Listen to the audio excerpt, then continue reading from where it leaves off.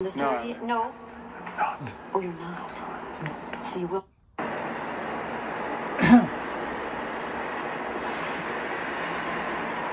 Doing an editing shot now, but uh, Oh, you mean one of those things that. yes, uh, yes, just to set I the, know, yes, the scene that we're talking here in the Majestic having a good time? Now you're coming back then on the 30th. No, 30th? No. Not. Oh, you're not. So you will not be back the 30th or 31st. No, but I, Okay, don't, I think that all right. if we can turn to come. No, I won't. James I just won't No, get into that. it, not just- It's Yeah. just that I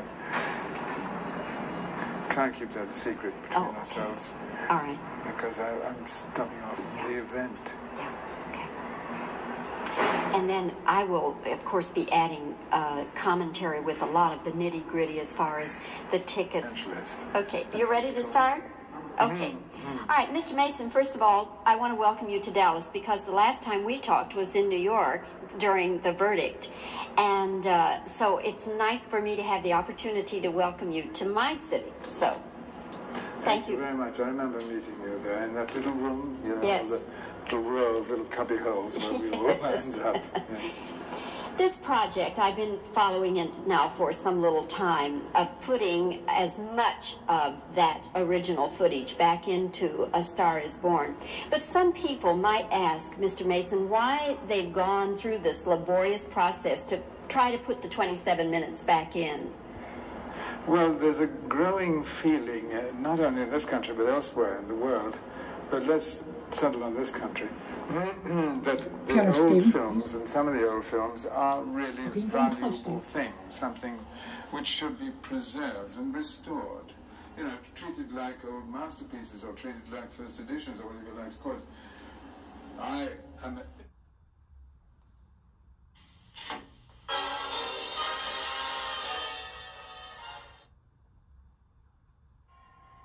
Ah, yes, Stephen, please.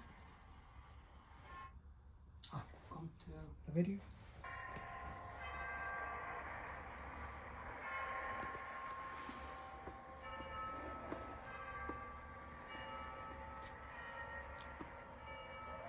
Ah, that's Gershwin.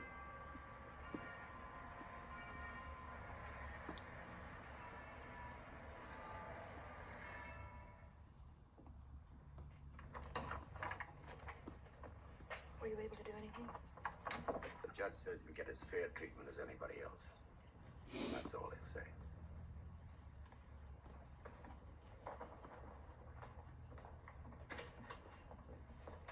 Cigarettes out, please rise. Face the flag of our country.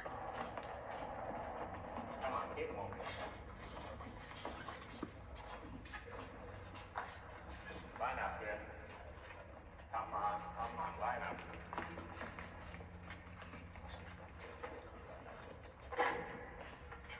All right, fellas, let's go.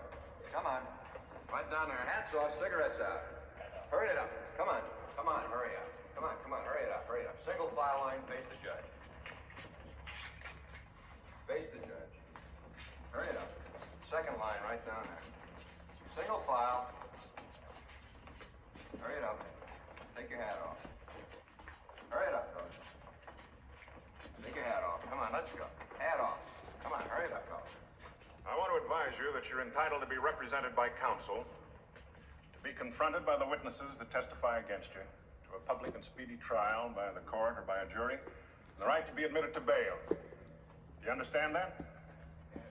William Gregory, Plain drunk, picked up a fifth in town, asleep in the gutter. 14 similar offenses in the past six months. how do you plead? I don't feel so good. I didn't ask you how you feel. I said, how do you plead? Guilty, I guess. When did you get out the last time? Just before Christmas. Well, I'm sorry you'll have to miss New Year's, but you'll be out in time for Washington's birthday. 60 days.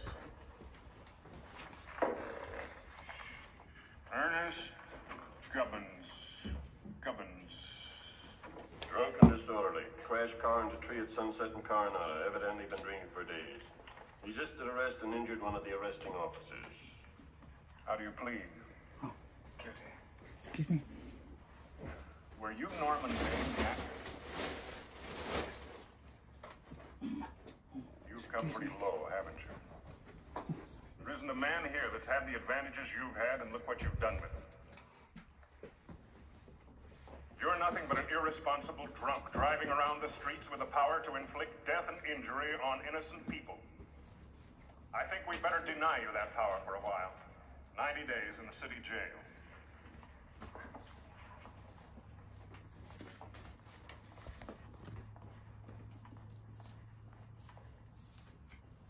His wife. I recognize you, Miss Lester. Please. Judge, I promise. This will never, never happen again. Cut. I'll be responsible.